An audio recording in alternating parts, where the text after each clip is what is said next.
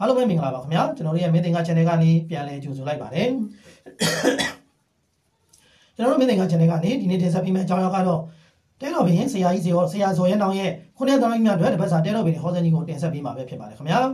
ဒီဟောစင်းကြီးကိုနားမစင်မီမှာကျွန်တော်တို့ရဲ့မင်းသင်္ကာ channel ကို subscribe နှိပ်ပြီးအားပေးသွားကြပါ like and share လေးလည်းကျေးဇူးပြုပြီးလုပ်ပေးသွားကြပါခင်ဗျာအားလုံးတော့ဒီမရှင်ပရိသတ်ပေါင်းစိတ်ချမ်းသာခြင်းကိုယ်ကြီးကျန်းမာခြင်းနဲ့ပြည့်စုံကြပါစေလို့လည်းဆုမွန်ကောင်းတောင်းပေးလိုက်ပါတယ်ခင်ဗျာအခုဆက်လက်ပြီးတော့ဆရာကြီးဇော်ရဲတောင်ရဲ့ဟောစင်းကြီးကိုဆက်လက်ကြည့်ရှုနားဆင်ပေးသွားကြပါအောင်ခင်ဗျာအားလုံးပဲကျေးဇူးတင်ပါတယ်ဒီနေ့မနေ့ကကျွန်တော်ပြောထားတဲ့အတိုင်းပဲဒီနေ့ကျွန်တော်တနင်္လာနေ့ဆိုတော့လာမယ့်တစ်ပတ်တာအတွက်ကျွန်တော်တဲတော့ဖက်ကြခွင့်ပြုပါအဲကျွန်တော်တို့ဒီတနင်္လာနေ့နောက်လာတဲ့တနင်္လာအထိပေါ့နော်ခေါင်းရက်သားသမီးတွေ တစ်ပတ်စာမှာရှောင်းရန်ဆောင်ရန်အဲကိုယ့်အတွက်ဖြစ်နိုင်ခြင်းများတဲ့အရာတွေပြီးတော့ဗီဒီနဲ့ပတ်သက်ပြီးတော့တတိထားမိအောင်ပြောပြပေးခြင်းဖြစ်ပါတယ်အားလုံးပဲဒီနေ့ညမှာကိုကြီးကျမ်းမာခြင်းစိတ်ချမ်းသာခြင်းတွေရရှိကြပါစေကျွန်တော် fan တွေအဲ့တော့မကြခင်ချိန်ထဲမှာကျွန်တော်တနင်္ဂနွေသားသမီးကနေစပြီးတော့တနင်္လာအင်္ဂါပုဒ်ဟုကြာတော်ပြီးတောက်ကြဆက်နေအကုန်လုံးနေ့စဉ်လိုက်ဖတ်ကြပေးမယ်ဖတ်ကြပေးတဲ့ထဲမှာတော့ကျွန်တော်တို့စီးပွားရေးကိစ္စတွေပါမယ်ငွေကြေးကိစ္စတွေပါမယ်ကျန်းမာရေးကိစ္စပါမယ်ခြေရေးကိစ္စပါမယ်အိမ်တော်ရေးကိစ္စပါမယ် ပြီးတော့ဝန်ဝန်ထမ်းရေးရာကိစ္စတွေနဲ့ပတ်သက်ပြီးတော့ပါမယ်ပေါ့နော်ကဲအဲ့တော့ကျွန်တော်တို့အချိန်တွေကလည်း10နာရီထိုးပြီဆိုတော့တချို့လူတွေကလည်းအိတ်နေပြီဆိုတော့အဲလူမဆောက်တော့ဘူးကျွန်တော်အခုပဲစာဟောလိုက်မယ်တကယ်လို့ကျွန်တော် live ကိုမမှီဘူးဆိုလို့ရှိရင် live လွှင့်ပြီးမှပဲပြန်ကြည့်မယ်ဆိုလည်းကြည့်လို့ရပါတယ်နော်အားလုံးပဲဆက်လိုက်အောင်မင်္ဂလာပါအားလုံးမင်္ဂလာပါနပန်းမင်္ဂလာပါတန်တန်နုလာမင်္ဂလာပါကိုရဲကိုကိုကိုရဲရဲကိုမင်္ဂလာပါကိုအောင်စောမင်္ဂလာပါပန်းရောက်လားမပန်းရောက်မင်္ဂလာပါခင်ဗျာ ဟန်နီမောင်မင်္ဂလာပါပြေကျွန်တော်စလိုက်အောင်တနင်္ဂနွေသားသမီးနော်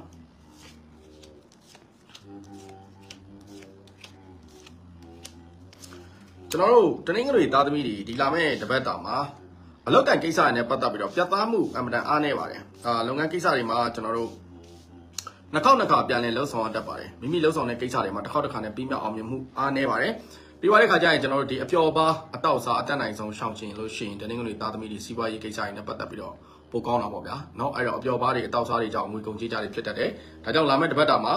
ရက်ဒေတာတောက်စားတာမျိုးနှလုံးတီထိုးတာမျိုးဖဲရိုက်တာမျိုးကြက်တိုက်တာမျိုးစသဖြင့်ဒီလိုအလောင်းကစားကိစ္စတွေနဲ့ပတ်သက်ပြီးတော့ပြုလုပ်ခဲ့မယ်ဆိုလို့ရှိရင်ကိုယ့်ရဲ့စီးပွားရေးကိစ္စတွေနဲ့ပတ်သက်ပြီးထိခိုက်မှုတွေရရှိလာမယ်အဲစီးပွားရေးနဲ့ပတ်သက်လာရင်တော့အထိုက်လျောက်တစ်ခုအထိကံကောင်းမှုတော့ရှိနေတယ်။တို့တော့လုပ်ငန်းကိစ္စတွေမှာမတင်မကျဖြစ်ပေါ်မှုတွေဇဝေဇဝါဖြစ်ပေါ်မှုတွေဒွာရ အဲကျွန်တော်ဖြစ်ပေါ်မှုတွေတွေ့ကြုံလာတတ်တယ်။ဒါကြောင့်ဟိုဟာလောက်အကောင်းလုံးတို့ဒီဟာလောက်အကောင်းလုံးတို့ ਨੇ အချိန်ကုန်နေတတ်တယ်။အဲစဉ်းစားဆုံးဖြတ်မှုအဲမြန်ဟိုပါပေါ့စဉ်းစားဆုံးဖြတ်မှုမမြန်ဆန်မှုကြောင့်တချို့အခွင့်အရေးတွေကျွန်တော်လက်လွတ်လိုက်ရတာတွေတွေ့ကြုံလာတတ်ပါတယ်။နောက်တစ်ခုကတော့ငွေကြေးကိစ္စပေါ့နော်ငွေကြေးကိစ္စတွေနဲ့ပတ်သက်ပြီးတော့လာမယ့်တစ်ပတ်တာမှာခက်ခဲနေမယ်ဆိုလို့ရှိရင် ကိုယ့်ရဲ့မိတ်ဆွေပေါင်းတင်တွေကိုယ့်ရဲ့ဆွေမျိုးသားချင်းတွေစီကနေစင်အကူအညီထောက်ပံ့ရရှိတာမျိုးတွေသူတို့စီကနေစင်အကြံကောင်းညံကောင်းရရှိတာမျိုးတွေကိုယ့်ရဲ့ငွေကြေးကိစ္စမပြေလည်နေတဲ့တချို့တွေမှာကိုယ့်ရဲ့မိတ်ဆွေပေါင်းတင်ကိုယ့်ရဲ့ဆွေမျိုးသားချင်းတွေရဲ့အကူအညီဖိမမှုကောင်းတွေရရှိလာမယ်မထင်မှတ်ထားဘဲနဲ့ငွေအကျက်တဲဖြစ်နေတဲ့အခါမှာလုပ်ငန်းတစ်ခုပေါ်ပေါက်လာတာမျိုးဒါမှမဟုတ်လို့ရှိရင်ငွေရဖို့အတွက်အခွင့်အလမ်းတစ်ခုပေါ်ပေါက်လာတာမျိုးတွေဖြစ်တတ်ပါတယ်ဒါကြောင့်လာမယ့်တစ်ပတ်တာမှာတနင်္ဂနွေသားသမီးတွေငွေကြေးကိစ္စတွေနဲ့ပတ်သက်ပြီးဆိုးဆိုးဝါးဝါးကြီးကြီးမားမားထိခိုက်နေနာမှုအားနေနေတဲ့အချိန်ကြီးပိုင်းခြားလို့ပဲကျွန်တော်အနေနဲ့သုံးသပ်ပြီးတော့ဟောကြားပေးချင်ပါတယ် နောက်တစ်ခုကတော့တနင်္ဂနွေသားသမီးတွေကျမ်းမာရေးကိစ္စတွေနဲ့ပတ်သက်ပြီးဟောကြားပေးချင်ပါတယ်တနင်္ဂနွေသားသမီးတွေကျမ်းမာရေးအမှန်တအားနေပါတယ်ကျမ်းမာရေးကိစ္စတွေနဲ့ပတ်သက်ပြီးတော့ကျွန်တော်တို့အစသာရာတတိထားဆင်ခြင်မှုတို့လိုအပ်ပါတယ်အတက်နိုင်ဆုံးကျမ်းမာရေးနဲ့ပတ်သက်ပြီးတော့ဂရုစိုက်ပါဆင်ခြင်ပါအဲပြီးသွားတဲ့ခါကျရင်ကိုကိုနဲ့မတည့်တဲ့အရာတွေကိုနဲ့အာဘယ်လိုခေါ်မလဲမတည့်တဲ့အစားအသောက်တွေစားမိတာမျိုးတွေအဲရှောင်ကျင်ပေးပါဖြစ်နိုင်တယ်ဆိုရင်မဖျားတာအကောင်းဆုံးဖြစ်လိမ့်မယ်တစ်ခါလောက်ဖျားလိုက်မယ်ဆိုရင်တစ်လတာလုံး ဖျားတာဟိုဘယ်လိုခေါ်နာတာရှည်ဖျားလိုမျိုးဖြစ်တတ်ပါတယ်အဲအဲ့တော့မဖျားအောင်နေတာပိုကောင်းမယ်စဖျားလိုက်ပြီဆိုတော့ဖျားတဲ့နေ့ကနေစပြီးတော့နောက်ရက်တွေနောက်ရက်တွေမှာယောယောဂါတွေကျွန်တော်အမြင့်ပြတ်တာမျိုးအားနေပြီးတော့ကျွန်တော်တို့အမြဲတမ်းစိတ်တောက်နေရတာမျိုးအမြဲတမ်းစိတ်ထိုးနေတာမျိုးဖြစ်တတ်တယ်เนาะဒါကြောင့်မလို့ကျမကြီးနဲ့ပတ်သက်ပြီးအထူးကိုကိုဂရုစိုက်ဖို့အတွက်လိုအပ်တဲ့အချိန်ကြီးပိုင်းခြားတစ်ခုလို့သုံးသပ်ပြီးဟောကြားပေးခြင်းတယ်အခြေကိစ္စဒီမှာတော့တယောက်နဲ့တယောက်တင်းမာမှုတွေစင်မပြေမှုတွေဖြစ်ပေါ်တတ်ပါတယ်เนาะပြီးတော့ပြက်စရာရှိနေတဲ့အပိုင်းတွေအခြေကိစ္စတွေမှာဇဝေဇဝါဖြစ်နေတာတွေအခြေကိစ္စတွေမှာ အဲကျွန်တော်တို့မပြတ်မသားဖြစ်နေတာတွေပြက်ပြက်သားသားရှင်းရှင်းလင်းလင်းလာမယ့်တစ်ပတ်တာမှာတွေ့ကြုံလာတတ်ပါတယ်ဒါကြောင့်မလို့သူကပဲငါ့ကိုပြန်ဆက်သွယ်မလားငါပဲသူ့ပြန်ဆက်သွယ်မလားစဉ်းစားနေတဲ့တမိစားတွေရှိရဆိုရင်လာမယ့်တစ်ပတ်မှာအပီးပြက်ပြတ်တောက်သွားနိုင်ပါတယ်အဲ့တော့မကောင်းဘူးဆိုလို့ရှိရင်လည်းမကောင်းတဲ့အရောက်အပီးတက်ပြတ်တက် ပြတ်တော့သွားနိုင်တယ်တကယ်လို့ကောင်းနေတဲ့ဘက်အချမ်းမှာဆိုလို့ရှိရင်လည်းကိုနဲ့အဆက်အသွယ်ခိတ္တခဏပြကိုကိုချစ်ပေမဲ့သူ့ရဲ့လုပ်ငန်းကိစ္စတခြားအကြောင်းကြောင့်ကြောင့်တယောက်နဲ့တယောက်အဆင်မပြေဖြစ်နေတဲ့အပိုင်းတွေမှာပြန်လည်ပြီးတော့အဆင်ပြေလာတတ်တယ်တယောက်နဲ့တယောက်မချစ်ပဲနဲ့ကျွန်တော်အပျော်တဘောအနေနဲ့ရည်စားထားထားတဲ့လူတွေပြဿနာအခုလက်ရှိအရှုပ်ရှင်းဖြစ်နေတဲ့လူတွေတော့နည်းနည်းလေးဂရုစိုက်ပါအဲတမီးစားကိစ္စတွေပြတ်ပြတ်သွားတဲ့အထိဖြစ်သွားနိုင်တယ်ဒါလေးကိုတော့ဂရုစိုက်စေချင်ပါတယ် ဆက်လက်ပြီးတော့အိမ်တော်ရေးကိစ္စတွေနဲ့ပတ်သက်ပြီးတော့ဟောကြားပေးချင်ပါတယ်။အိုးတစ်အိမ်နဲ့ပြောင်းရွှေ့ရတာမျိုးတွေနဲ့ပတ်သက်ပြီးတွေ့ကြုံလာရတတ်တယ်။အဲအိုးအိမ်ကိစ္စမိသားစုကိစ္စတွေနဲ့ပတ်သက်ပြီးပူပင်နေရတာမျိုးလုပ်ငန်းကိစ္စတွေမှာယင်းနှိမ့်မြုပ်နှံမှုမှားတာမျိုးတွေတွေ့ကြုံလာတတ်တယ်။အိမ်ကိစ္စတွေမှာကိုယ့်ရဲ့စဉ်းစားဆုံးဖြတ်ချက်မှားတဲ့အတွက်ကြောင့်မလို့လွဲမှားစွာဆုံးဖြတ်မိတာမျိုးတွေတွေ့ကြုံလာတတ်တယ်ဒါကြောင့်မလို့ကျွန်တော်တို့ကိုယ့်ရဲ့အိမ်တွင်းကြီးကိစ္စတွေနဲ့ပတ်သက်ပြီးစဉ်းစားဆုံးဖြတ်တော့မယ်ဆိုလို့ရှိရင်အတေးတေးချာချာအထက်ပြန်တယ်လဲလဲစဉ်းစားသုံးသပ်ပြီးတော့မှဂရုစိုက် ပြီးတော့ပြောဆိုတာမျိုးအဲပြုလုပ်မယ်ဆိုရင်ပုံမှုပြီးတော့ကောင်းမွန်ပါလိမ့်မယ်အိမ်အပြောင်းရွှေ့တွေနော်အဲနောက်တစ်ခါကျွန်တော်အိမ်ပြင်အိမ်ဆောက်တာနဲ့ပတ်သက်ပြီးတော့လာမယ့်တစ်ပတ်မှာပြုလုပ်ဖို့အတွက်စူးစမ်းထားမယ်ဆိုလို့ရှိရင်အောင်မြင်မှုကောင်းတွေရရှိလာမယ်မထင်မှတ်ထားပဲနဲ့မိသားစုနဲ့အတူကျွန်တော်တို့ပြောအပျော်ခီးသွားရတာမျိုးဖျားဖူးသွားရတာမျိုးတွေ့ကြုံလာတတ်ပါတယ်နော်ဒါကတော့အိမ်တော်ကြီးကိစ္စတွေနဲ့ပတ်သက်တဲ့အပိုင်းဖြစ်ပါတယ် နောက်တစ်ခါဝန်ထမ်းအနေနဲ့ပတ်သက်တဲ့အပိုင်းမှာတော့ကျွန်တော်တို့အချင်းချင်းပြိုင်ဆိုင်တိုက်ခိုက်မှုတွေမားနေတတ်တယ်ကိုယ့်ရဲ့အရင်တော့ကပြုလုပ်တဲ့ကိုယ့်ရဲ့အမှားဟောင်းကိုယ့်ရဲ့ပြစ်မှုဟောင်းတွေကိုပြန်လည်ပြီးတော့အစဖို့ပြီးပြောတာမျိုးကိုရင်တော့မဟုတ်တာတခုခုလုပ်ခဲ့တာတွေကိုကျွန်တော်တို့ဒီကိုယ့်ဘောကိုတိုက်ခိုက်လို့စိတ်နဲ့ပြန်လည်ပြီးတော့အထက်လူကြီးကိုပြောဆိုတာမျိုးဒါမှမဟုတ်မိမိပေါ်ကိုစောင်းမြောင်းပြောဆိုတာမျိုးတွေလုပ်ငန်းကိစ္စတွေမှာတွေ့ကြုံလာတတ်ပါတယ်ဒါလေးတော့နည်းနည်းခရီးဆိုင်စေချင်ပါတယ်ဝန်ထမ်းအနေနဲ့ပတ်သက်တဲ့အပိုင်းဖြစ်ပါတယ်ဆက်လက်ပြီးတော့ကျွန်တော်တို့ဒီတပတ်တာမှာတနင်္ဂနွေသားသမီးတွေအတွက်အကျိုးပေးနေတဲ့အရောင်ကတော့အညိုရောင်အဝါရောင်အနီရောင်အားကောင်းပါတယ်ကဏ္ဍအဖြစ်ပြောမယ်ဆိုလို့ရှိရင်ကျွန်တော်နံပါတ် 6ကဏ္ဍနံပါတ်1ကဏ္ဍနောက်တစ်ခါကျွန်တော်နံပါတ်5ကဏ္ဍအားကောင်းနေတဲ့အခြေအနေပိုင်းခြားတစ်ခုဖြစ်ပါတယ်ဒီလောက်ဆိုရင်ကျွန်တော်တနင်္ဂနွေသားသမီးတွေကျင်းနေမယ်လို့ညွှန်နေပါတယ်ဆက်လက်ပြီးတော့ကျွန်တော်တနင်္လာသားသမီးတွေအဆက်ဟောကြားပေးမှာဖြစ်ပါတယ်ဝိတ်ကြတော့ရှော့နေတာပဲဝိတ်ကရှော့လေချင်းချင်းမကြတော့သူတိုက်နေတာချင်းချင်းတက်တာချရင်အဲ့လိုချင်းချင်းမကြအောင်သူကတဖြည်းဖြည်းချင်းကြတာဝိတ်ကတော့ဟုတ်တယ်ဝါတာနည်းနည်းနေရထိုင်ကခက်တယ်အင်ကြီးကိုစားဖို့ရတာလေတိတ်အဆင်မပြေဘူးတခါကြီးကြရင်ကျန်တာအကုန်တော်နေပြီးတော့ဒီ bike တစ်ခုပဲကွက်ပြီးတော့ပူနေလို့ဖြစ်တယ်အဲ့တော့ဝါတာကတော့ကောင်းတော့မကောင်းဘူးရှော့တော့ရှော့နေတာပဲဒါပေမဲ့သူက ဘယ်လိုပြောမလဲဆိုတော့တဲ့နေတာအတက်မြန်တာချမယ်ဆိုရင်ချင်းချင်းချလို့မရအောင်အဲ့ဒီတဘောတစ်ဘာဝရှိတယ်အဲ့တော့ဟုတ်ပြီဝိတ်ချတာမချတာတွေကတကယ်တော့ပေါ့နော်အခုကျွန်တော်စလိုက်အောင်နောက်ထပ်တင်းနေလာတာတပည့်တွေအတွက်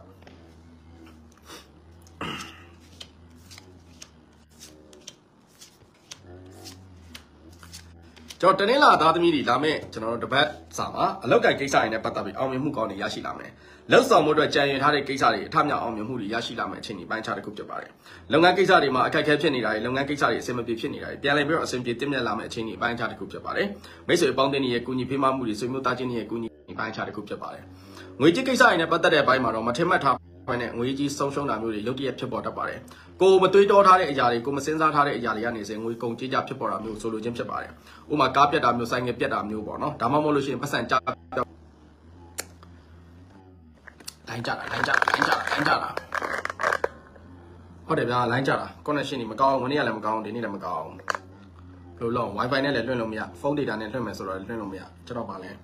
တော်တော်လေးဒုက္ခများတယ် okay sorry ပါလိုင်းကြသွားတာပါ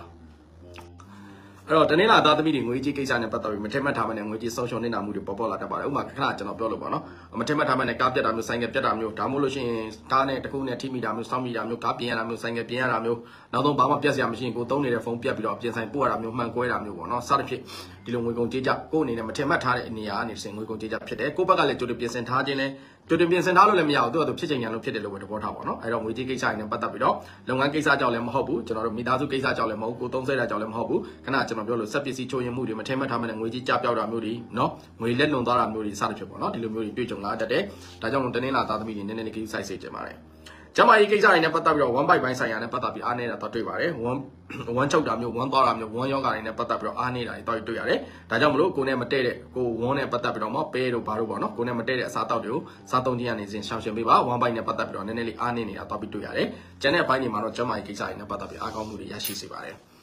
နောက်တစ်ခါအခြေကြီးကိစ္စတွေမှာတော့ကိုယ့်ဘက်ကဘလောက်ပဲကောင်းကောင်းကိုချစ်သူကကိုယ့်ဘောရမ်းမှုတာမျိုးတွေဒါမှမဟုတ်လို့ရှိရင်ကိုယ့်ဘောတဝင်းတိုတာမျိုးတွေเนาะကိုယ့်ဘောစိတ်မချတာမျိုးတွေပေါ့နော်ဒီလိုမျိုးကိစ္စတွေနဲ့ပတ်သက်ပြီးတော့အခြေကြီးကိစ္စတွေမှာလာမယ့်တစ်ပတ်တာမှာတွေ့ကြုံလာတတ်တယ်ဒါကြောင့်မလို့ဆဆရဂိူးဆိုင်ပါကိုချစ်သူနဲ့ကိုယ်နဲ့ပြောဆိုတဲ့အခါမှာအသက်နိုင်ဆုံးအဲအနေထားကြည့်ပြီးတော့ပြောပါမထင်မှန်မထင်မှတ်ထားလို့ရန်ခဏခဏဖြစ်တတ်တယ်ကွဲတာတွေ လမ်းခွဲသွားတဲ့အထိမဖြစ်ပေါ်ပေမဲ့ပေါ့နော်တပတ်တာပြတ်ကြော်အောင်မှာအဲကျွန်တော်ချစ်တာခင်တာနည်းနည်းရန်ဖြစ်တာမျိုးများဖြစ်တတ်ပါတယ်ဒါကြောင့်မလို့ချစ်တဲ့ဟိုကိုချစ်သူကကိုပေါ်စိတ်မချတာတို့တဝန်တူတာတို့နော်ကိုကိုပေါ်တခြားတော့ကျွန်တော်တို့မလိုလားတဲ့စကားလေးတွေပြောဆိုတဲ့အပေါ်မှာကိုဘက်ကအမြင်မကြည့်ဘဲနဲ့ပြန်လဲတုတ်ပြန်တာမျိုးတွေပေါ့နော်တွေးကြုံလာတတ်တယ်ဒါလေးတော့ view size စင်ကြုံမှုအတွက်လိုအပ်ပါတယ်လို့နော်အဲ့ဒါလေးတော့နည်းနည်း view size ပါအခြေကိစ္စမှာ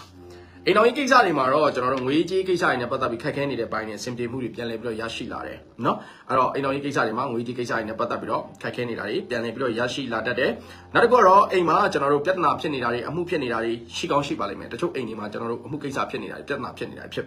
ရှိကောင်းရှိပါလိမ့်မယ်အဲ့ဒီကိစ္စတွေနဲ့ပတ်သက်ပြီးတော့အဆင်ပြေမှုတွေအောင်မြင်မှုတွေပြန်လည်ပြီးတော့ရရှိလာမယ့်အခြေအနေပိုင်းခြားတစ်ခုဖြစ်ပါတယ်เนาะ အဲအိမ်တော်ကြီးကိစ္စတွေနဲ့ပတ်သက်ပြီးဖြစ်ပေါ်လာတဲ့အခါမှာငွေကြီးအခက်အခဲပဲဖြစ်ဖြစ်ကိုယ့်ရဲ့အိမ်တွင်းကြီးကိစ္စပဲဖြစ်ဖြစ်ပေါ့နော်တခုခုကျွန်တော်တို့ဖြစ်ပေါ်မယ်ဆိုလို့ရှိရင်သူများကိုတိုင်မင်တာဆွေးနွေးတာမျိုးသူများကိုအကူအညီတောင်းတာမျိုးမပြုလုပ်ပါနဲ့ကိုယ့်အနေနဲ့စကားအဖတ်တင်တာပဲရှိမယ်သူတို့စီကနေစင်ပြဘာမှပြန်မရတဲ့ပြင်ကိုတော်မှအပြစ်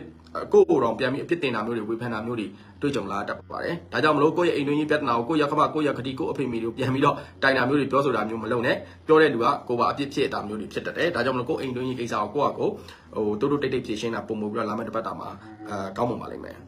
အလုတ်တိုင်နဲ့ပတ်သက်တဲ့အပိုင်းမှာဝန်ထမ်းတွေအလုတ်တိုင်ကိစ္စတွေနဲ့ပတ်သက်ပြီးအဆင်မပြေဖြစ်တာမျိုးတွေအလုတ်ပြုတ်တာမျိုးတွေအလုတ်ကအနားခံရတာမျိုးတွေအင်တာဗျူးသွားပြတဲ့အခါမှာအင်တာဗျူးမပါဘဲနဲ့အင်တာဗျူးပြုတ်သွားတာမျိုးတွေတွေ့ကြုံလာတတ်ပါတယ်ဒါကြောင့်ဝန်ထမ်းတွေအနေနဲ့ဒီလာမဲ့အပိုင်းခြားမှာအလုတ်တိုင်ကိစ္စတွေနဲ့ပတ်သက်ပြီးတော့ကိုယ့်ရဲ့ဝန်ထမ်းအလုတ်တိုင်ကိစ္စတွေနဲ့ပတ်သက်ပြီးတော့အားနည်းနေတဲ့ချိန်တွေပိုင်းခြားတစ်ခုဖြစ်တယ်ဒါကြောင့်မို့သတိဝိရိယထားပြီးတော့စင်ကျင်ပြီးတော့နေထိုင်တာကိုယ့်အတွက်ပုံမှုပြီးတော့ကောင်းမှပါလိမ့်မယ်ဆက်လက်ပြီးတော့ကျွန်တော်တနင်္လာသားသမီးတွေတွေ့ကြုံလာမယ်ကျွန်တော်တို့ဒီတပတ်စာမှာ အကျိုးပေးနေတဲ့ကျွန်တော်တို့အကြောင်းအားဖြင့်ပြောမယ်ဆိုလို့ရှိရင်တော့ကျွန်တော်တို့အဖြူရောင်အားကောင်းနေတယ်နောက်တစ်ခါကြက်သွေးရောင်လေးတွေအားကောင်းနေတယ်နောက်တစ်ခါကျွန်တော်ခဲရောင်လေးတွေအားကောင်းနေတဲ့အချိန်ဒီပိုင်းခြားတစ်ခုဖြစ်ပါတယ်ကဏ္ဍအားဖြင့်ပြောမယ်ဆိုရင်နံပါတ်၄ကဏ္ဍအားကောင်းတယ်ကျွန်တော်နံပါတ်2ကဏ္ဍအားကောင်းတယ်နံပါတ်9ကဏ္ဍအားကောင်းနေတဲ့အချိန်ဒီပိုင်းခြားတစ်ခုဖြစ်ပါတယ်အဲ့တော့ကျွန်တော်တို့ဒီတနင်္လာသားသမီးကြည့်ပြီးသွားပြီဆိုရင်တော့အင်္ဂါသားသမီးတွေအတွက်ကိုကျွန်တော်တို့ဆက်လက်ပြီးတော့တစ်ပတ်စာကိုကြည့်ပြီးမှဖြစ်ပါတယ်အားလုံးကျွန်တော်မိတ်ဆွေများ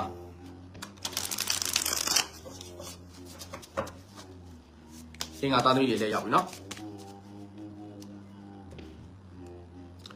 ကျွန်တော်အင်္ဂါသားသမီးတွေလာမယ့်တပတ်တာမှာကိုပိုင်လုပ်ငန်းကိစ္စတွေနဲ့ပတ်သက်တဲ့အပိုင်းတွေမှာပွင့်လင်းမြင်သာမှုရရှိလာမယ်ဆက်သူရှယ်ယာနဲ့ပတ်သက်ပြီးတော့အကျိုးပေးမှုအဲရရှိလာမယ်လူမျိုးခြားဘာသာကြားရည်နဲ့ပူပေါင်းပြီးလှုပ်ဆောင်တဲ့ကိစ္စတွေမှာအောင်မြင်မှုရရှိမယ် လုပ်ငန်းကိစ္စတွေနဲ့ပတ်သက်ပြီးငွေကြေးရရှိစရာရှိလို့ကြံ့ကြာနေတဲ့အပိုင်းတွေလုပ်ငန်းကိစ္စတွေမှာငွေကြေးကြံ့ကြာနေတဲ့အပိုင်းတွေပြန်လည်ပြီးတော့အဆင်ပြေလာမယ့်အခြေအနေပိုင်းခြားတစ်ခုဖြစ်တယ်အလုပ်လုပ်မယ်ဆိုတူတယောက်တည်းလှုပ်ဆောင်တာမျိုးမဟုတ်ဘဲနဲ့အများနဲ့တိုင်ပင်ညှိနှိုင်းပြီးတော့လှုပ်ဆောင်တာမျိုးဆက်သူရှယ်ယာလှုပ်ဆောင်တာမျိုးအတင်းဖွဲ့တွေနဲ့လှုပ်ဆောင်တဲ့လုပ်ငန်းတွေမှာအမှန်တန်အားကောင်းနေတဲ့အခြေအနေပိုင်းခြားတစ်ခုဖြစ်ပါတယ်ဒါကြောင့်မို့လောက်ကန်ကိစ္စတွေမှာစီးပွားရေးမိတ်ဆွေကောင်းတွေလည်းတွေ့ကြုံလာမယ့်အခြေအနေပိုင်းခြားတစ်ခုဖြစ်ပါတယ် ငွေကြေးကိစ္စတွေနဲ့ပတ်သက်တဲ့ဘိုင်းမှာတော့ငွေကြေးနဲ့ပတ်သက်ပြီးကံကောင်းမှုတွေရရှိမယ်။မရရှိသေးတဲ့ကိုအကျွေးကြံနေတဲ့အပိုင်းတွေကိုငွေရဖို့အတွက်ကြံ့ကြာနေတဲ့အပိုင်းတွေပြန်လည်ပြီးတော့ရရှိလာမယ့်အခြေအနေပိုင်းခြားတစ်ခုဖြစ်ပါတယ်။ဒါပေမဲ့အေးအေးလူလူရရှိတာမျိုးတော့မဟုတ်ပါဘူး။အပူပင်နဲ့မကင်းတဲ့ငွေဝင်မှုမျိုးတွေဖြစ်တတ်ပါတယ်။ငွေတော့ဝင်တယ်ဒါပေမဲ့ကိုယ်အနေနဲ့စိတ်ပူပန်မှုတွေတွေ့ကြုံလာတတ်တယ်။ငွေကြေးနဲ့ပတ်သက်ပြီးတော့ပေါ့နော်။ငွေတော့ဝင်တော့ဝင်တယ်ဒါပေမဲ့ဘယ်တော့မှဝင်လာမလားငါ့ကိုပဲလိန်သွားမလားစတယ်ပေါ့နော်။ဒီလိုပူပန်မှုတွေအကုန်လုံးပြင်းမြောက်သွားတော့မှငွေကြေးကိစ္စတွေနဲ့ပတ်သက်ပြီးကံကောင်းခြင်းကိုဆိုလိုခြင်းဖြစ်ပါတယ်။ အဲကျမကြီးကိစ္စတွေနဲ့ပတ်သက်တဲ့အပိုင်းမှာတော့ကျွန်တော်တို့ကိုလည်းမအီမသာဖြစ်တာမျိုးကြိုက်ခဲတာမျိုးစိတ်မကြည်မလင်တာမျိုးတွေเนาะတွေ့ကြုံလာတတ်တယ်လှုပ်ချင်ကန်ချင်စိတ်ပျောက်ဆုံးနေတာမျိုးတွေเนาะအထူးသဖြင့်ကတော့ကျွန်တော်ပြောချင်တာကတော့လေဒီလိုပိုင်းခြားမျိုးမှာကျွန်တော်တို့အေးမိတာမျိုးတွေเนาะကိုလည်းကြိုက်ခဲတာမျိုးတွေအဲပြီးသွားတဲ့ခါကျရင်ကျွန်တော်တို့ဖြားနာတာမျိုးတွေဖြစ်ပေါ်တတ်ပါတယ်အတက်နိုင်ဆုံးကိစ္စကိုတော့လိုအပ်ပါလိမ့်မယ်နောက်တစ်ခုကတော့ကြုံတွေ့လာမယ့်အခြေအနေကိစ္စနဲ့ပတ်သက်ပြီးတော့ဟောကြားပေးချင်ပါတယ်မိမိရဲ့အခြေအနေကိစ္စမှာမထင်မှတ်ထားတဲ့ အသွင်မီလောင်တာမျိုးတွေဖြစ်ပေါ်တတ်ပါတယ်ကိုယ့်ရဲ့လူယုံလူရင်းတစ္ဆာဖောက်တာမျိုးတွေနော်ကိုယုံကြည်စိတ်ချတဲ့လူကနေစဉ်ကိုယ့်ဘောအခြေကိစ္စတွေနဲ့ပတ်သက်ပြီးမဟုတ်မမှန်ပြောဆိုတာမျိုးတွေကိုယ့်ရဲ့အတင်းဖြစ်နေကိုတားပြီးတော့ကိုယ့်ရဲ့ချစ်သူစီကိုသတင်းပို့တာမျိုးတွေစသဖြင့်တွေ့ကြုံလာမဲ့အခြေအနေပိုင်းခြားတစ်ခုဖြစ်ပါတယ်ဒါကြောင့်မို့အခြေကိစ္စကြားတွေမှာကျွန်တော်တို့မနာလိုသူတွေရဲ့ဝေဖန်တိုက်ခိုက်ခြင်းတွေနော်ဂုံးတိုက်ခြင်းတွေအဲ့လိုတွေ့ကြုံလာတတ်ပါတယ်နည်းနည်းလေးကြည့်ဆိုင်ပြပါ အိမ်တော်ကြီးကိစ္စတွေနဲ့ပတ်သက်ပြီးတော့သားသမီးရနာဖြစ်ထွန်းကိန်းတွေရှိပါတယ်။ဒါကြောင့်မို့သားသမီးရရှိဖို့အတွက်စူးစမ်းနေတဲ့လူတွေဒီလာမယ့်တစ်ပတ်တာမှာသားသမီးရရှိဖို့အတွက်အဲကျွန်တော်တို့အခွင့်အရေးကောင်းတွေရရှိလာနိုင်တယ်။နောက်တစ်ခုကတော့ကျွန်တော်တို့သားသမီးကြောင့်အဲကျွန်တော်ပျော်ရွှင်ရတာမျိုးသားသမီးကြောင့် စိတ်ချမ်းသာမှုရရှိတာမျိုးတွေနဲ့ပတ်သက်ပြီးတွေ့ကြုံလာတတ်တယ်။ရဝိမှာရှိနေတဲ့မိသားစုဝင်တူတယောက်စီကနေစဉ်သတင်းစကားကောင်းတွေကြားသိရတတ်တယ်။ရဝိမှာရှိနေတဲ့ကိုမောင်နှမသားချင်းတွေနဲ့လုပ်ငန်းကိစ္စတွေနဲ့ပတ်သက်ပြီးတွဲဆက်လှုပ်ဆောင်ရတာမျိုးတွေနဲ့ပတ်သက်ပြီးတော့တွေ့ကြုံလာမယ်။အိမ်တော်ကြီးကိစ္စတွေနဲ့ပတ်သက်ပြီးအဆင်မပြေဖြစ်နေတဲ့အိမ်တော်တွေရှိရဆိုလို့ရှိရင်အိမ်တော်ဘက်နဲ့မိမိနဲ့ပြန်လည်ပြီးတော့အဆင်ပြေတင်မြတ်မှုကောင်းတွေရရှိလာမယ်။ရဝိမှာရောက်ရှိနေတဲ့အိမ်သူအိမ်သားတူတယောက်မိမိအိမ်ကိုပြန်လည်ပြီးတော့ရောက်ရှိလာတာမျိုးတွေတွေ့ကြုံလာတတ်တယ်။အဆက်အသွယ်ပြတ်နေတဲ့အိမ်သူအိမ်သားတွေပြန်လည်ပြီးတော့အဆက်အသွယ်ရရှိလာတတ်ပါတယ်။ ဝန်ထမ်းတွေနဲ့ပတ်သက်ပြီးတော့ဒီအချိန်မှာကျွန်တော်တို့နာမည်ကုန်သတင်းကြော်စောနေတဲ့အချိန်တစ်ခုဖြစ်ပါတယ်လုပ်ငန်းကိုတည်တည်ကြကြဖိစီပြီးတော့လှုပ်ဆောင်ပါအဲကျွန်တော်တို့ယာဒူးတိုးတာမျိုးတွေလာစာတိုးတာမျိုးတွေလုပ်ငန်းခွင်တွေနဲ့ပတ်သက်ပြီးတော့ကိုယ့်အနေနဲ့တခြားသောတာဝန်တွေကိုထမ်းဆောင်ရတာမျိုးတွေနဲ့ပတ်သက်ပြီးတွေ့ကြုံလာတတ်တယ်ဒီအချိန်မှာလုပ်ငန်းကိုပေါ့ပြက်ပြက်လှုပ်ဆောင်ခြင်းကိုရှောင်ကျဉ်ပြီးတော့တကယ်လေးလေးနက်နက် PPCC တည်တည်ချာလှုပ်ဆောင်မယ်ဆိုရင်လာမယ့်လအပိုင်းခြားတွေမှာကိုယ့်အတွက်တိုးတက်လန်းနေအများကြီးအားကောင်းနေတဲ့ချိန်ဒီပိုင်းခြားတစ်ခုဖြစ်တဲ့အတွက်ကြောင့်မလို့ဝန်ထမ်းတွေဂရုတစိုက်ပြီးတော့တည်တည်ချာချာလှုပ်ဆောင်မယ်ဆိုရင်ပုံပုံပြီးတော့ကောင်းမှာပါတယ်နောက်တစ်ခုကတော့တွေ့ကြုံလာမယ့်ကျွန်တော်တို့တနေ့တာအင်္ဂါသားသမီးတွေတဲ့ အာကံကောင်းနေတဲ့အယောင်ဖြစ်ပါတယ်အဝါရောင်အားကောင်းနေတယ်အနှက်ရောင်အားကောင်းနေတယ်နောက်တစ်ခါကျွန်တော်အဖြူရောင်အားကောင်းနေတယ်ကဏ္ဍအဖြစ်ပြောမယ်ဆိုရင်ကျွန်တော်နံပါတ်6ကဏ္ဍအားကောင်းတယ်နံပါတ်1ကဏ္ဍအားကောင်းတယ်နံပါတ်3ညကဏ္ဍအားကောင်းနေတဲ့အချိန်ကြီးပိုင်းခြားတစ်ခုဖြစ်ပါတယ်ဆက်လက်ပြီးတွေ့ကြုံလာမယ်ကျွန်တော်တို့ရဲ့ဗုဒ္ဓဟူသားသမီးယာဟုသားသမီးတွေရဲ့တပတ်တာအင်ကအိမ်ကယုံလေးပြောက်ကြောင်လေးကနေမကောင်းတရဝါရီချစ်တာတော့ကောင်းပါတယ်ဒါပေမဲ့တရဝါရီချစ်ရတာလေတခါကြီးကျတော့တန်အောင်စင်ဖြစ်သွားရင်ဖျက်ရခက်တယ်ဗျ။ဘာလဲဆိုတော့သူတို့က တရဝါဆိုတဲ့မျိုးရိုးကသူတို့ကဟိုပါပေါ့လူတွေကိုပုံပုံပြီးတော့ခင်ခင်မင်းနေလေနော်တရဝါမွေးတာလေတချို့လူတွေဆိုလို့ရှိရင်ကြောင်တွေခွေးတွေဆိုလို့ရှိရင်သူတို့သားသမီးတွေလိုပဲဒီလိုပါပဲတေးချပြန်ရှာကြည့်လိုက်ပါနော်โอเคကျွန်တော်တို့ဟိုတူသားသမီးရောက်သားသမီးအတွက်ဆက်သွားအောင်နော် ဘော်ဒူသားသမီးရာဟုသားသမီးတွေလာမဲ့တစ်ပတ်ဟာလုပ်ငန်းကိစ္စတွေနဲ့ပတ်သက်ပြီးအခက်အခဲတစ်ခုခုဖြစ်တာအဆင်မပြေဖြစ်တာရှိရဆိုရင်အဋိဌံဝင်ကြည့်ပါ ဘာသာတရားကိုနည်းနည်းလေးနည်းနည်းရှင်းရှင်းလုပ်ကြည့်ပါကိုယ့်ရဲ့လုပ်ငန်းကိစ္စကောင်းနေတော့အကြောင်းမဟုတ်ဘူးเนาะဘော်ဒူသားသမီးရာဟုသားသမီးတွေကိုယ့်ရဲ့လုပ်ငန်းကိစ္စတွေအားနည်းနေပြီခက်ခဲလာပြီဆိုရင်တော့အဋိဌံတစ်ခုခုလုပ်တာမျိုးတွေဘာသာတရားနဲ့ပတ်သက်ပြီးလေးလေးနက်နက်အာရုံပြုတ်ပြီးတော့လှုပ်ဆောင်တာမျိုးတွေဟာလုပ်ငန်းနဲ့ပတ်သက်တဲ့အခက်အခဲတွေပြန်လည်ပြီးတော့ပြေပြောက်သွားနိုင်ပါတယ်ဒါကြောင့်မလို့ဘော်ဒူသားသမီးရာဟုသားသမီးတွေအလောက်ကန်ကိစ္စတွေနဲ့ပတ်သက်ပြီးအခက်အခဲတစ်စုံတစ်ရာရှိနေတာပဲဖြစ်ဖြစ်အခက်အခဲဘေးတွေဟောတာလည်းအဆင်မပြေလိုက်တာ အဲ့တော့ကျွန်တော်ဗော်ဒူသားသမီးတွေအခက်အခဲတစ်ခုဖြစ်နေတယ်လုပ်ငန်းကိစ္စတွေနဲ့ပတ်သက်ပြီးအဆင်မပြေဖြစ်တယ်ဆိုလို့ရှိရင်အလှူဒန်းတွေများများလုပ်ပေးပါအပြီးသွားရင်ကျွန်တော်ဘာသာတရားတွေလုပ်ပေးပါအဋိဌံပတိစိတ်ပေးပါဒါဆိုရင်လုပ်ငန်းကသူ့အတူအဆင်ပြန်ပြေသွားလာမယ်လိမ့်မယ်အဓိကပြောချင်တာတော့ဗော်ဒူသားသမီးတွေလာမယ့်တစ်ပတ်တာမှာလုပ်ငန်းကိစ္စတွေနဲ့ပတ်သက်ပြီးကံကောင်းပါတယ်တကယ်လို့ကျွန်တော်ပြောလို့မျိုးကိုယ့်အတွက်အဲသူများတွေကကံကောင်းနေတယ်ဗော်ဒူချင်းတူတူရာဟုချင်းတူတူငါတို့ကကံဆိုးနေတယ်ဆိုရင်ခဏကျွန်တော်ပြောလို့အဋိဌံပတိလေးစိတ်ကြည့်ပါ ဒါမှမဟုတ်လို့ရှိရင်အလှူဒန်းလေးများများလုပ်ကြည့်ပါလုပ်ငန်းကိစ္စပြန်လည်ကောင်းမှပါလိမ့်မယ်ဒါကြောင့်မလို့လုပ်ငန်းအဆင်မပြေတိုင်းထိုင်ပြီးတော့စိတ်ညစ်မနေပါနဲ့ကျွန်တော်ပြောလို့မျိုးဘာသာတရားနဲ့ပတ်သက်ပြီးနည်းနည်းလေးလုပ်ကြည့်ရင်လုပ်ငန်းတိတိတသားကြီးပြန်လည်ပြီးတော့အားကောင်းလာလိမ့်မယ်ဒါကြောင့်မို့မကြောက်ပါနဲ့လုပ်ငန်းအဆင်ပြေသည်ဖြစ်စေမပြေသည်ဖြစ်စေမကြောက်ပါနဲ့တခါတည်းကျွန်တော်အနေနဲ့ဂျိုပီနေပြီးတော့ဟောကြားပေးခြင်းဖြစ်ပါတယ်ငွေကြေးကိစ္စတွေနဲ့ပတ်သက်ပြီးတော့ကိုယ့်ရဲ့မိတ်ဆွေအပေါင်းအသင်းတွေနားလည်မှုတဘောထားချင်းကွဲလွဲတာမျိုးတွေကိုယ့်ဘောအမြင်ဆောင်တာမျိုးတွေကိုယ့်ဘောအမြင်မကြည်နေတာမျိုးတွေတွေ့ကြုံလာတတ်ပါတယ်နော် ဒါကြောင့်မလို့ငွေကြေးကိစ္စတွေနဲ့ပတ်သက်ပြီးကိုယ့်ရဲ့လူရင်းတွေကိုယ့်ရဲ့မိတ်ဆွေပေါင်းတင်တွေကိုယ့်ရဲ့မိသားစုတွေနဲ့ပတ်သက်ဆက်နွယ်နေတဲ့အခါမှာနည်းနည်းလေးဂရုစိုက်ပါသူတို့ရဲ့အမြင်မကြည်လင်ခြင်းကိုယ့်ဘောအမြင်ဆောင်ခြင်းကိုယ့်ဘောအထင်မှားခြင်းတွေတွေ့ကြုံလာရတတ်ပါတယ်ဂရုစိုက်စင်ခြင်းကိုတော့လိုအပ်ပါတယ် ကျမရဲ့ကိစ္စတွေနဲ့ပတ်သက်ပြီးအထူးအားကောင်းနေတဲ့အခြေအနေပိုင်းခြားတစ်ခုဖြစ်ပါတယ်။ဒါကြောင့်ဗုဒ္ဓဟူသားသမီးရာဟုသားသမီးတွေလာမယ့်တစ်ပတ်တာမှာကျမရဲ့နဲ့ပတ်သက်ပြီးအားကောင်းနေတဲ့အခြေအနေပိုင်းခြားတစ်ခုဖြစ်တဲ့အတွက်ကြောင့်အခုလက်ရှိနေထိုင်မကောင်းဖြစ်နေတဲ့လူတွေကျမရဲ့ညံ့နေတဲ့လူတွေပင်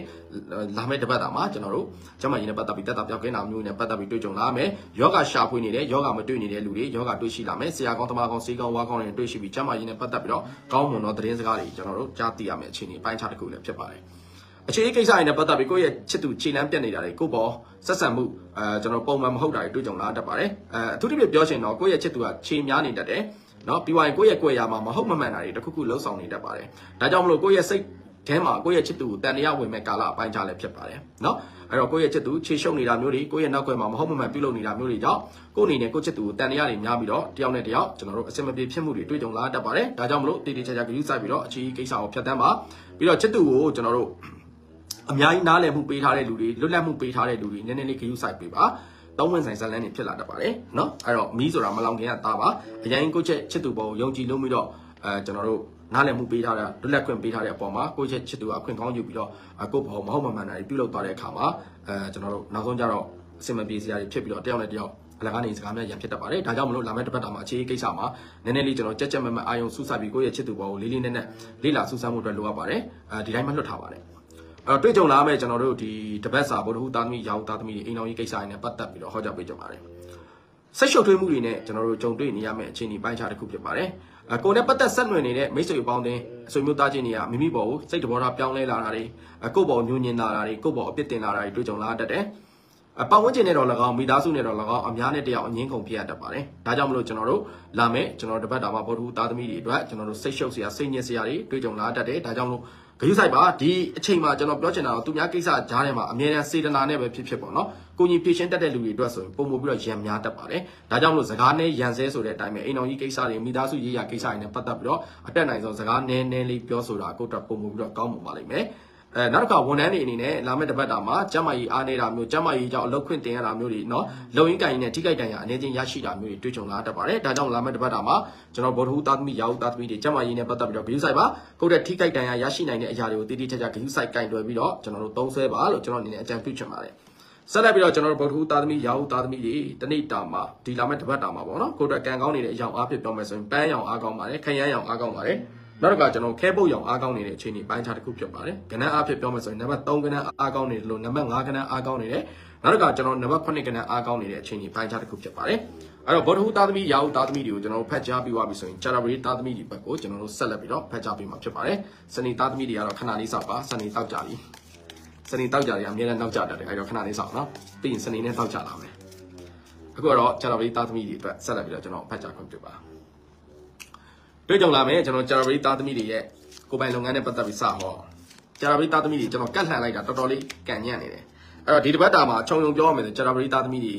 ကန်ဆိုးမှုတွေကန်ညမ်းမှုတွေအစမပြေမှုတွေတွေ့ကြုံလာတတ်ပါတယ်ဒီထဲမှာမှကျွန်တော်ကိုယ်ပိုင်လုပ်ငန်းနဲ့ပတ်သက်ပြီးတော့စတင်ပြီးတော့ဟောပြချင်ပါတယ်ရင်းနှီးမြှုပ်နှံမှုမှားတတ်ပါတယ်ကုန်ပစ္စည်းအဝယ်မှအယောင်းမှဖြစ်တတ်ပါတယ် မိမိရဲ့လုပ်ငန်းကိစ္စတွေမှာအတွင်းတစ္ဆာပေါက်တွေကိုယ့်ရဲ့လုပ်ငန်းပေါ်ကိုမနာလိုတဲ့လူတွေရဲ့တိုက်ခိုက်မှုတွေကြောင့်လုပ်ငန်းကိစ္စတွေနဲ့ပတ်သက်ပြီးအစမပြေမှုတွေဖြစ်ပေါ်လာတတ်ပါတယ်လာမယ့်တစ်ပတ်တာမှာလုပ်ငန်းကိစ္စတွေနဲ့ပတ်သက်ပြီးငွေကြေးရင်းနှီးများများနဲ့စိုက်ထုတ်ပြီးတော့လှုပ်ဆောင်အောင်မယ့်ကိစ္စတွေလုပ်ငန်းတစ်လှုပ်ဆောင်အောင်မယ့်ကိစ္စတွေအတက်နိုင်ဆုံးရှောင်ကျင်ပါရှိနေတဲ့လုပ်ငန်းကိုပဲအကောင်းဆုံးဖြစ်အောင်ကျွန်တော်တို့လှုပ်ဆောင်ဖို့အတွက်လိုအပ်တယ်လုပ်ငန်းအသစ်စမယ်ဆိုလို့ရှိရင်စမယ်လုပ်ငန်းမှာတစ်ပိုင်းတစ်စဖြစ်တတ်တယ်ငွေကြေးအမြောက်များနဲ့ရင်းနှီးပြီးတော့လှုပ်ဆောင်အောင်မယ်ဆိုလို့ရှိရင်ငွေကြေးပြန်ပေါ်ဖို့အတွက်အားနည်းတဲ့အတွက်ကြောင့်မလို့ကိုယ့်ရဲ့ထည့်ထားတဲ့ငွေကြေးအဲကျွန်တော်တို့ ဆုံးရှုံးသွားတာမျိုးမဟုတ်ပါတော့ငွေပြန်ပေါ်ဖို့အတွက်ခက်ခဲပါတယ်ဒါကြောင့်ငွေကြီးကိစ္စကြီးကြီးမားမားတွေရဲ့ရင်းနှီးမြှုပ်နှံမယ့်ကိစ္စတွေမှာအတက်နိုင်ဆုံးရှောင်ကြပါပြီးတော့အလုံးလုံးနေရင်လည်းကျမကြီးအားနေတဲ့အတွက်ကြောင့်မလို့ကိုယ့်ရဲ့လုပ်ငန်းကိုအချိန်ပြည့်ဂရုမစိုက်နိုင်တာမကြက်မှတ်နိုင်တာတွေကြောင့်လုပ်ငန်းကိစ္စတွေနဲ့ပတ်သက်ပြီးတော့နည်းနည်းလေးအဲဘယ်လိုခေါ်မလဲအလွယ်လွယ်မှားမှားတဲ့အဆင်မပြေမှုတွေဖြစ်ပေါ်တတ်ပါတယ်။တနည်းအားဖြင့်ပြောရင်ကျတာပရိသတ်သမီးတွေအားနေတယ်ဗျာနော်လုပ်ငန်းကိစ္စတွေမှာဂရုစိုက်ပါငွေကြေးကိစ္စတွေနဲ့ပတ်သက်ပြီးယုံကြည်ကိုးစားမှုတွေမှားတတ်ပါတယ်။မိမိယုံကြည်ပြီးတော့ငွေကြေးအနန္တာမျိုးမိမိယုံကြည်ပြီးတော့တစ်ဖက်သားအောင်ငွေကြေး အာမခံပေးတာမျိုးတွေအတက်နိုင်ဆုံးဂရုစိုက်ပါနော်ငွေကြေးကိစ္စတွေနဲ့ပတ်သက်ပြီးတော့အမတန်အားနေနေတယ်။နောက်တစ်ခါကျွန်တော်ကျတာပရိသတ်သမီးတွေကျွန်တော်မှားပါမယ်။အလောင်းကစားလုံးဝလုံးဝမလုပ်ပါနဲ့။အလောင်းကစားလုံးမိမယ်ဆိုလို့ရှိရင်အရှုံးတာရှိမယ်ကိုယ့်ဘက်ကအနိုင်မရှိပါဘူး။အခုကကျွန်တော်မြန်မာနိုင်ငံမှာမြန်မာနှလုံးထီတို့ဟိုကနှလုံးထီရနှလုံးထီတို့ရှုပ်နေတယ်နော်။အဲ့တော့နည်းနည်းလေးမှပတ်စံအကုန်မခံချင်ရင်အလောင်းကစားကိုတော့မဆန်းတက်ပါနဲ့စမ်းတက်ရင်စမ်းတက်တော့ကုန်မယ်ဒါကတော့အထူးမှားကြခြင်းဖြစ်ပါတယ်ငွေကြေးကိစ္စတွေနဲ့ပတ်သက်ပြီးတော့အားနေနေတဲ့အချိန်ကြီးပိုင်းခြားတစ်ခုဖြစ်ပါတယ်ဒါကြောင့်မလို့ငွေကြေးကိစ္စတွေနဲ့ပတ်သက်တဲ့စာချုပ်စာတမ်းကိစ္စအာမခံတဲ့ကိစ္စအသက်နိုင်ဆုံးငွေကြေးကိစ္စတွေနဲ့ပတ်သက်ပြီးဘဒုဘောမှာယုံကြည်မှုမထားတာအကောင်းဆုံးဖြစ်လာပါလိမ့်မယ်မိမိထားတဲ့ယုံကြည်မှုကိုတစ်ဖက်လူရဲ့အလွဲသုံးစားလုပ်မှုကြုံတွေ့လာတဲ့အခါမှာတစ်ဖက်လူနဲ့ကိုယ်နဲ့ကြားထဲမှာအဆင်မပြေမှုတွေဖြစ်ပေါ်တတ်ပါတယ်။ဒါကြောင့်မလို့ငွေကြေးကိစ္စတွေမှာအထူးဂရုစိုက်ဖို့အတွက် generator သမီးတွေကိုမှာကြားချင်ပါတယ်။ကျမရဲ့ကိစ္စတွေနဲ့ပတ်သက်ပြီးတော့ကျွန်တော်တို့ကောင်းထုတ်ကောင်းကိုက်ဖြစ်တတ်ပါတယ်เนาะမမျှော်လင့်တာပဲနဲ့ကျွန်တော်နေထိုင်မကောင်းဖြစ်တာမျိုးစိတ်ယုံစိတ်ကန်းတက်ရတာမျိုးတွေနဲ့ပတ်သက်ပြီးတွေးကြုံလာတတ်တယ်ယောဂအခန့်ယောဂအဟောင်းရှိနေတဲ့လူတွေအဲ့ဒီယောဂအခန့်ယောဂအဟောင်းကနေစင်ပြန်လဲပြီးတော့ယောဂ ဖောက်ပြန်တာမျိုးတွေတွေ့ကြုံလာတတ်ပါတယ်ဒါကြောင့်မလို့သွေးတိုသမားတွေသွေးတိုသမားတွေစီးကြိုသမားတွေစားဖြစ်ယောဂအခန့်ရှိနေတဲ့လူတွေနည်းနည်းလေးအနေထိုင်ဆင်ခြင်မှုအတွက်လိုအပ်ပါလိမ့်မယ်အခြေအကိစ္စတွေနဲ့ပတ်သက်တဲ့အပိုင်းမှာတော့ကျွန်တော်တို့ကျရဝရီသားသမီးတွေ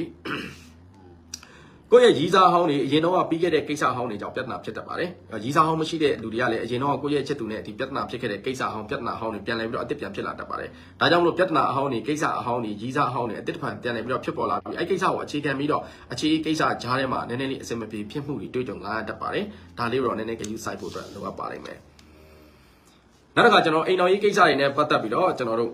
အိမ်မှာရှိနေတဲ့ကိုယ့်ရဲ့တန်မိုးကြီးပစ္စည်းတွေ ပျောက်ရှာတာမျိုးတွေပျက်စီးတာမျိုးတွေတွေ့ကြုံလာရတတ်ပါတယ်ရွှေတဲ့ပစ္စည်းပဲဖြစ်ဖြစ်စက်ပစ္စည်းပဲဖြစ်ဖြစ်ပေါ့နော်ရွှေတဲ့ပစ္စည်းဆိုရင်လည်းနေရာထားမှားတာမျိုးဒါမှမဟုတ်လို့ရှိရင်လမ်းမှာကြားပြောက်တာမျိုးအထူးတစ်ဖြစ်ကတော့ကျွန်တော်ဒီ nugget တို့ ham chain တို့ဖြစ်တတ်တယ်နော်နည်းနည်းလေး view site ပါအဲ့တော့ကြားပြောက်ခြင်းရှိပါတယ်ရွှေတဲ့ပစ္စည်းတွေကြားပြောက်ခြင်းရှိတယ်ဒါမှမဟုတ်လို့ရှိရင်အိမ်မှာထားနေရင်လည်းကိုယ့်ရဲ့တန်ဖိုးကြီးပစ္စည်းတွေပြန်ရှာမတွေ့တာမျိုးတွေပေါ့နော်အိမ်မှာတော့ထားတော့ထားတယ်ဘယ်မှာထားမှမသိရှာတာလည်းမျက်စိကျင်နေပြန်မတွေ့ဘူးစသဖြင့်ဒီလိုမျိုးတွေတွေ့ကြုံလာမယ့်အချိန်ဒီပိုင်းခြားတစ်ခုဖြစ်ပါတယ် အချိန်ကြီးအကြောင်းတရက်ကြောက်ပေါ့နော်မိတ်ဆွေအပေါင်းအသင်းကြောက်ပဲဖြစ်ဖြစ်သားသမီးကြောက်ပဲဖြစ်ဖြစ်လုပ်ငန်းကြောက်ပဲဖြစ်ဖြစ်ပေါ့နော်ရွှေတဲ့ပစ္စည်းတွေကျွန်တော်တို့ထုပဲရောင်းချတာမျိုးတွေပေါင်နှမ်းရတာမျိုးတွေဖြစ်ပေါ်တတ်တယ်ဒါလေးကိုတော့နည်းနည်းလေးခရူးဆိုင်စေချင်ပါတယ်အိမ်အောင်တွေနဲ့ပတ်သက်ပြီးဟောကြားပေးခြင်းဖြစ်ပါတယ်နောက်တစ်ခါငွေကြီးကိစ္စတွေနဲ့ပတ်သက်ပြီးတော့ကိုယ့်ရဲ့အိမ်အောင်ဘက်နဲ့ကိုယ်နဲ့ကြားထဲမှာနည်းနည်းလေးပြိပခဖြစ်တာမျိုးတွေတွေ့ကြုံလာရတတ်ပါတယ်ဒါလေးကိုတော့နည်းနည်းခရူးဆိုင်ဖို့အတွက်လိုအပ်ပါတယ်နောက်တစ်ခုကတော့ကျွန်တော်ဝန်ထမ်းတွေအနေနဲ့ကတော့ အားကောင်းနေတဲ့ချိန်ဒီပိုင်းခြားတစ်ခုဖြစ်ပါတယ်အလုတ်တဲ့အကိုင်တဲ့ဌာနအသစ်ပြောင်းရွှေ့တာမျိုးတွေတွေ့ကြုံလာတတ်တယ်အလုတ်လည်းမဖြစ်နေတဲ့တွေလောက်ကခွင့်လန်းအနေနဲ့ပတ်သက်ပြီးတော့အားကောင်းနေတဲ့အချိန်ဒီပိုင်းခြားတစ်ခုဖြစ်ပါတယ်လုပ်ငန်းကိစ္စနဲ့ပတ်သက်ပြီးအလုတ်ကစေခိုင်းပြီးတော့ခရီးသွားရတာမျိုးတွေတွေ့ကြုံလာမယ့်အချိန်ဒီပိုင်းခြားတစ်ခုလည်းဖြစ်ပါတယ်ဒါကြောင့်မလို့ကျွန်တော်တို့တာသမီဝန်ထမ်းတွေအနေနဲ့ကတော့ကံကောင်းမှုတွေရရှိနေတတ်ပါတယ်ကျွန်တော်တို့တာသမီတွေအတွက်ကျွန်တော်တို့ကံကောင်းနေတဲ့အကြောင်းအဖြစ်ပြောမယ်ဆိုလို့ရှိရင်ပန်းစီရောင်အားကောင်းနေတယ်အစိမ့်ပုတ်ရောင်အားကောင်းနေတယ် နောက်တစ်ခါကျွန်တော်အနီရောင်အားကောင်းနေတဲ့အချိန်ဒီပိုင်းခြားတစ်ခုဖြစ်ပါတယ်ကဏ္ဍအဖြစ်ပြောမယ်ဆိုလို့ရှိရင်ကျွန်တော်တို့နံပါတ်2ကဏ္ဍအားကောင်းပါတယ်နံပါတ်1ကဏ္ဍအားကောင်းပါတယ်နောက်တစ်ခါကျွန်တော်နံပါတ်5ကဏ္ဍအားကောင်းနေတဲ့အချိန်ဒီပိုင်းခြားတစ်ခုဖြစ်ပါတယ်ဆက်လက်ပြီးတော့တွေ့ကြုံလာမယ်ကျွန်တော်တို့ရဲ့တနေ့ဒီတပတ်စာတောက်ကြသားသမီးတွေရဲ့ကံပိုင်းခြားကိုဖတ်ကြားခွင့်ပြုပါနောက်တစ်ယောက်ရမလားသိချင်တယ်ယူရင်တော့ရတာပါဗျာယူရင်တော့ရတာပါနော်နောက်တစ်ယောက်ရမလားဆိုတော့ကိုယ့်ဘက်ကယူချင်တဲ့စိတ်ရှိရင်တစ်ယောက်မဟုတ်10ယောက်ဆိုလည်းရမှာပဲ နော်ဘာမှမပူမနေနဲ့ရရင်ကောင်းမကောင်းပဲကြည့်ရမှာယူရင်တော့ယူရင်ယူလောက်ရပါရောက်တရာယူရင်ရောက်တရာရတယ်မပူနဲ့မပူနဲ့နော်ယူရင်ရတယ်ကြာပါလေတဲ့ချစ်သူကတဲ့တခြားနောက်တခြားလူနောက်ပါသွားချစ်ကြီးကကောင်းမှမကောင်းတာရမဖြစ်တော့ဘူးဗျာတဲ့ကောင်းတယ်မေးလိုက်တော့မေးလိုက်တော့မင်းမျက်လုံးနဲ့မေးလိုက်မင်းလွှမ်းပြန်ကြောင်းကမောတယ်ဟဟလားဒီချိန်မှာသူပြန်လာမိနစ်တိတ်ပဲတချင်းလို့ပဲမေးလိုက်ပါတချို့ကိစ္စတွေကမေးနိုင်မေးလိုက်โอเคကျွန်တော်တို့တောက်ကြသားသမီးစအောင်နော် တောက်ကြသားသမီးတွေကိုယ်ပိုင်လုပ်ငန်းကိစ္စနဲ့ပတ်သက်ပြီးတော့ကိုယ့်ကိုယ်ကိုယုံကြည်မှုပြည့်ပြည့်ဝဝထားပါတောက်ကြသားသမီးတွေလာမဲ့ဒီတပတ်တာမှာကိုယ်ပိုင်လုပ်ငန်းကိစ္စတွေနဲ့ပတ်သက်ပြီးတော့အလုပ်တစ်အကင်တစ်တိုးချက်လောက်ဆောင်ခွင့်တွေရရှိမဲ့အခြေအနေအပိုင်းခြားတစ်ခုဖြစ်ပါတယ်နော်နောက်တစ်ခါတောက်ကြသားသမီးတွေကျွန်တော်တို့ကိုယ့်ကိုယ်ကိုအားကိုးပါကိုယ့်ကိုယ်ကိုယုံကြည်ပါကိုယ့်ရဲ့လှုပ်ဆောင်မှုပေါ်မှာအကောင်းဆုံးဖြစ်အောင်လှုပ်ဆောင်ပါလုပ်ငန်းကိစ္စတွေနဲ့ပတ်သက်ပြီးအကောင်းဘက်ကိုဦးတည်နေတယ်ကံအားဖြင့်လုပ်ငန်းဟာကံအားဖြင့်ကံကောင်းနေတဲ့အခြေအနေပိုင်းခြားတစ်ခုဖြစ်ပါတယ်ဒါကြောင့်မလို့ကိုယ့်ဘက်ကလုပ်ငန်းကိုပြပြစီစီပိုင်ပိုင်နိုင်နိုင်လှုပ်ဆောင်မယ်ဆိုရင်တောက်ကြသားသမီးတွေအတွက် ကျွန်တော်တို့အကောင်းဆုံးတော့အခြေအနေပိုင်းခြားတစ်ခုကိုဖျက်ကျော်အောင်မှာပဲဖြစ်ပါတယ်ကျွန်တော်တို့ကံကောင်းနေပြီဆိုရင်ထိုင်နေလို့တော့မရအောင်တောက်ကြသားသမီးတွေနော်ကိုယ့်ရဲ့လုပ်အားလေးနည်းနည်းလေးထည့်မယ်ဆိုရင်လုပ်ငန်းပုံမှုပြီးတော့ကောင်းပါတယ်ဒါကြောင့်မလို့တောက်ကြသားသမီးတွေကိုယ်ပိုင်လုပ်ငန်းကိစ္စတွေနဲ့ပတ်သက်ပြီးတော့ကိုယ့်ကိုယ်ကိုယုံကြည်မှုအပြည့်နဲ့လှုပ်ဆောင်ပါအောင်မြင်မှုတွေရရှိမယ်အပိုင်းခြားဖြစ်ပါတယ်ငွေကြေးကိစ္စတွေနဲ့ပတ်သက်တဲ့အပိုင်းမှာတော့အငင်းခုန်အနှဲငယ်ဖြစ်ရတတ်ပါတယ်ပြဿနာအနှဲငယ်ဖြစ်ရတတ်တယ်တို့တော့ငွေကြေးကိစ္စတွေနဲ့ပတ်သက်ပြီးကံကောင်းနေတတ်ပါတယ်မိသားစုကိစ္စတွေမှာလုပ်ငန်းကိစ္စတွေမှာငွေကြေးကိစ္စတွေနဲ့ပတ်သက်ပြီးအနှဲငယ်ကျွန်တော်အဆင်မပြေဖြစ်တာတွေ အဲပြီးသွားတဲ့ခါကျအငင်းကုန်ဖြစ်ရတာတွေတော့ရှိတယ်တို့တော့ငွေကြေးကိစ္စတွေနဲ့ပတ်သက်ပြီးထိုက်တဲ့လောက်ကံကောင်းမှုတွေရရှိနေတဲ့အတွက်ကြောင့်မလို့ဆိုးဆိုးဝါးဝါဖြစ်ပေါ်နိုင်ပြီရှိပါဘူးကျမရဲ့ကိစ္စတွေနဲ့ပတ်သက်ပြီးအထူးမှကျင်တာတော့တောက်ကြသားသမီးတွေကခြေလက်ထိခိုက်တန်ရာရရှိတာမျိုးတွေခေါင်းထိုးခေါင်းကပ်ဖြစ်တာမျိုးတွေဖြစ်ပေါ်တတ်ပါတယ်။ဒါကြောင့်မလို့ကျွန်တော်တို့အာယုံကြောပိုင်းတွေနဲ့ပတ်သက်တဲ့အပိုင်းတွေနဲ့ဂရုစိုက်ပါဖုန်းတွေရမသုံးနဲ့ပေါ့နော်။အေးရေးတိတ်ပြတ်မခံနဲ့အာယုံကြောပိုင်းတွေနဲ့ပတ်သက်ပြီးအားနေတဲ့ခြေထောက်ထိခိုက်တန်ရာအနေချင်းရရှိတတ်တယ်။အခြေကိစ္စတွေကတော့တောက်ကြသားသမီးတွေရဲ့ဗီဇနိုင်ပေါ့။မကောင်းပါဘူး။ အခြေကိစ္စမှာတောက်ကြသားသမီးတွေအမှန်တအားနေပါတယ်။ကိုယ့်နောက်ကျောကိုဓာတ်နဲ့ထိုးတာမျိုးကိုယ့်ရဲ့ယုံကြည်မှုကိုအလွဲသုံးစားလုပ်တာမျိုးတွေဖြစ်ပေါ်တတ်ပါတယ်။ကိုယ့်ရဲ့အခြေကိစ္စတွေမှာလာမဲ့တပတ်တာမှာပြဿနာဖြစ်ပေါ်ဖို့အတွက်အကြောင်းတရားတွေအများကြီးရှိနေတတ်ပါတယ်အဲပြီးအယုံမလွယ်ဖို့အတွက်လိုအပ်ပါတယ်အယုံမလွယ်နဲ့ဆိုတော့ကိုချစ်ကိုရဲ့ချစ်သူတစ်ခုတည်းကိုပြောတာမဟုတ်ဘူးเนาะအခြေကိစ္စနဲ့ပတ်သက်တဲ့အရာမှန်တယ်မြ ယုံကြည်မှုလွန်ကဲသွားခြင်းဟာကိုယ့်ရဲ့အခြေကိစ္စတွေမှာပြဿနာဖြစ်လာတတ်ပါတယ်အခြေကိစ္စတွေနဲ့ပတ်သက်ပြီးဖြစ်ပေါ်လာတဲ့အကြောင်းရင်းတွေကိုသူ့တငယ်ချင်းကိုယ်တငယ်ချင်းတွေကိုတိုင်ပင်ညှိနှိုင်းတာမျိုးတောင်းမလုပ်ပါနဲ့တော့ကြတခုတရိုးကန်းလိုမျိုးဓမြအောင်ဓာတ်ထုတ်ပိတ်လိုမျိုးဖြစ်တတ်ပါတယ်တောင်းတောင်းတေးသေးလေးနဲ့ပြီးရမယ့်ပြဿနာဟာကြီးကြီးကျယ်ကျယ်ကြီးဖြစ်သွားတတ်တယ်ဒါကြောင့်လို့ကိုယ့်ရဲ့အခြေကိစ္စကိုတိုးတိုးတိတ်တိတ်အေးအေးဆေးဆေးကိုယ့်အကူဖြည့်ရှင်းတာပိုကောင်းပါလိမ့်မယ်တချို့လူတွေရှိရဲ့အခြေအေးအဆင်မပြေဘူးဆိုဟိုလူနဲ့တိုင်ပင်လိုက်ဒီလူနဲ့တိုင်ပင်လိုက်ဟိုလူစီကအကူညီတောင်းလိုက်ဒီလူစီကအကူညီတောင်းလိုက် ကျွန်တော်အပ်နဲ့ပေါက်ရမယ့်နေရာမှာပစိန်နဲ့ပေါက်လို့ဖြစ်တတ်ပါတယ်ဒါကြောင့်မို့အခြေအေးကိစ္စတွေမှာကျွန်တော်လှုပ်ဝက်တူတိတ်စွာဖြည့်ရှင်းခြင်းဟာကိုယ့်ရဲ့အခြေအေးကိစ္စကောင်းမွန်ခြင်းလို့ကျွန်တော်အနေနဲ့ဟောကြားပေးချင်ပါတယ်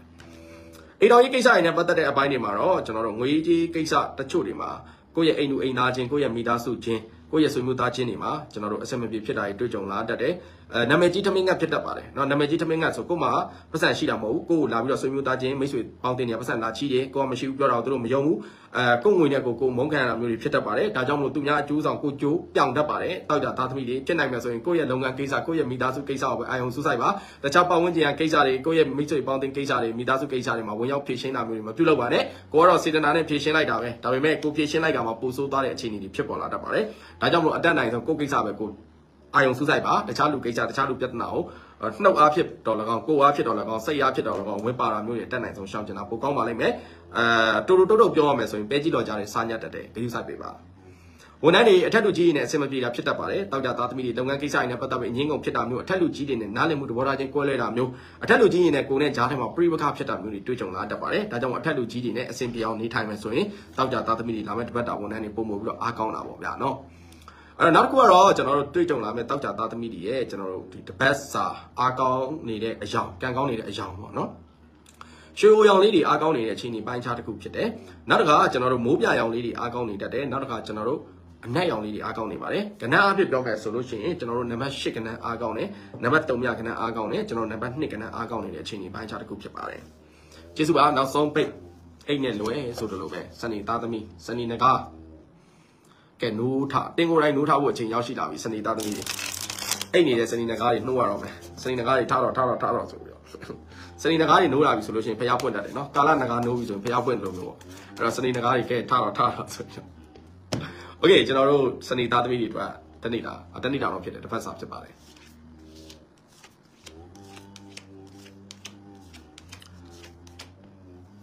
စနေသားသမီးတွေအလောက်ကင်နဲ့ပတ်သက်ပြီးတော့နှောင့်နှေးကြံ့ကြာမှုတချို့တွေကြုံတွေ့လာတတ်ပါတယ်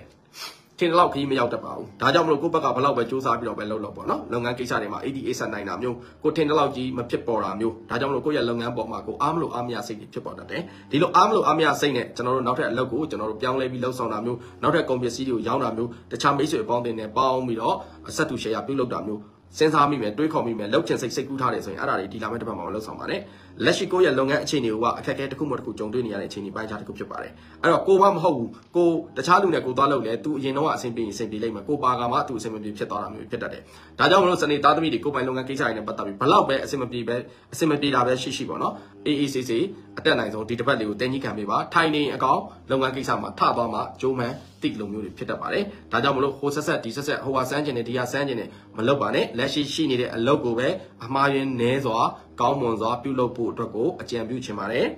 ငွေကြေးကိစ္စတွေနဲ့ပတ်သက်တဲ့အပိုင်းတွေမှာတော့ကိုယ့်ရဲ့ကိစ္စမဟုတ်ဘဲနဲ့သူများကိစ္စတွေအဲဂျားထဲမှာကျွန်တော်တို့ကိုကိုအကျိုးကိစ္စလည်းမဟုတ်သူများအကျိုးကိစ္စတွေနဲ့ဒီကိုပူပင်ရတာမျိုးတွေเนาะစိတ်ညစ်ရတာမျိုးတွေစိတ်ရှုပ်ရတာမျိုးတွေဒါငွေကြေးကိစ္စတွေနဲ့ပတ်သက်ပြီးပြောတာပေါ့เนาะတခြားကိစ္စမပါဘူးเนาะ အဲ့တော့ကိုကိုရဖို့အတွက်လည်းမဟုတ်သူများရဖို့အတွက်နဲ့ကိုကရန်ဖြစ်ပေးရတာမျိုးတွေမခံချင်းမခံတာဖြစ်ပေါ်ရတာမျိုးတွေငွေကြေးကိစ္စတွေနဲ့ပတ်သက်ပြီးကြုံတွေ့လာတတ်တယ်ဒါကြောင့်လို့ငွေကြေးကိစ္စ